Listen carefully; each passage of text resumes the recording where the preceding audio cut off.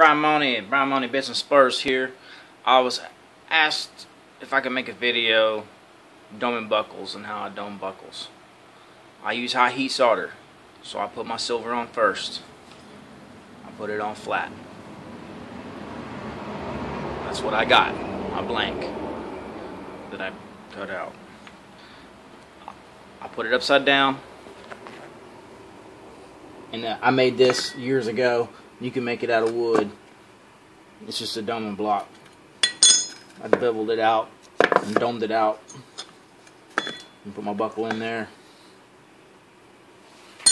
Now I have an eight pound shot put or I have this bowling ball. I'll take this bowling ball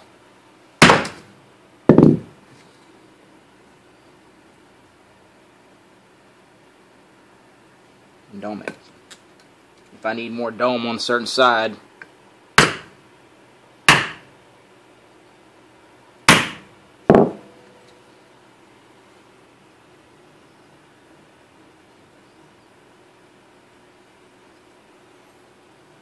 That's it.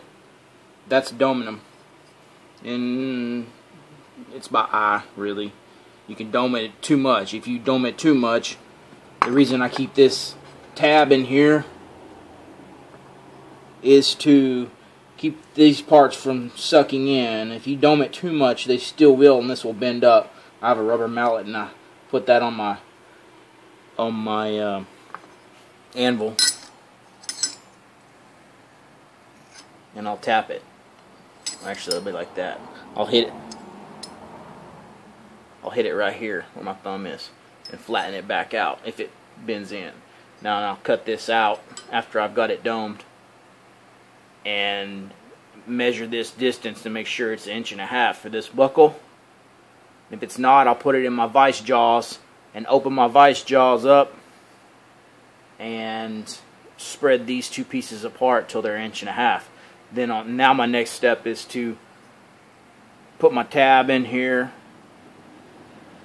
drill my holes. I drill holes in all my buckles and and add my my keeper backs here for my tongues for the buckles I don't put tongues in buckles they mess up the belts I put a, a tab here for it to attach to the belt that's it you can make it a, a doming block. You can whittle out a, a stump. I got a big ass stump right here. I got all my stuff on. This is a big two by two pecan tree. It's heavy as hell. That's it. Nothing fancy here, man. And I'll do each buckle that way. And then I'll countersink my holes and put my stuff in. That's my next one.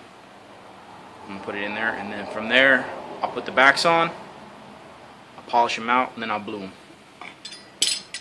I like to build two or three at a time. This time I'm building five because bluing, hot bluing, bluing salt, I cook them 280 degrees, 260 degrees to get the blue color. And the finish on these buckles, well, it takes a lot of time to do that. So I like to do three to five or six, however many I can keep from gathering a surface rust on and keep hot polished to put in there. I've got three I've got to repolish that I that I've already built while I'm working on these two and, and uh, I've kept them as away from humidity as I can but they're still getting the surface rust on there. So they've got to be shiny and free of any anything on them as far as grease, compound, uh, polishing stuff. They, they got to stay that way or they will not blue right and they'll, they'll leave a rusty finish. That's how blue buckles. I mean, that's how I dome these buckles.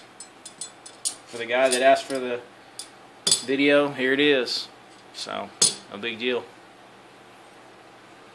You can make. You can also use some metal doming block, doming metal domers. Uh, it's best to put a piece of leather in there because if you hit them hard enough, it will dent your silver or copper or brass, especially your copper. It'll dent it and and uh, cause it to have waves in it or an indention in there that you can't get out unless you, you know, really sand on it to smooth it up. But anyways, and you'll still run into that problem. With wood, you don't have the it it, it's not going to bend it as fast because the wood's softer and it's going to give compared to the silver or the steel. That's why I use wood. I've made this myself. It's just a little piece of block, a little piece of wood. And there's better ways to do it. This is what I've had for eight years. So it's still two by six. it's uh, it's dry now, and and every time I hit it, pieces of the wood pop out. As you can see, they're all over the floor. It's starting to disintegrate. The layers of the wood, they're starting to pop out. But that's what I've used, or I've domed over 300 buckles in that at least. All kinds of buckles, from headstall buckles to belt buckles to cinch buckles to you name it. That's it, man. And if it goes out, I'll just take a. I'll just cut another piece out. It, it'd be better. I didn't have a. I didn't have a four by six. I didn't have a six by six uh, square. It'd have been better because of the the weight of it. Uh, a, a stump works real good. Um, stumps work really good. Actually, they last longer, and you can do different holes in there. And I did it with a skill saw. It's not. You got to be careful when you do it.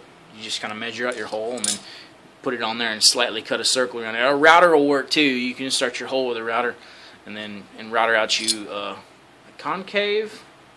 I think it's concave or convex. I can't remember the exact terminology of the the dish. I think it's concave. Convex is out. Anyways, that's it. This video. How to dome belt buckles. Six minutes of boring information. Have a good one.